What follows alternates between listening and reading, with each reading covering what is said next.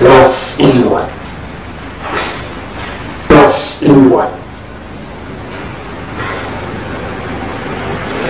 Ke mana larinya cerita-cerita itu? Seperti labirin kehilangan waktu. Dia terkatup dengan lidah yang mengeluh. 6 April 2011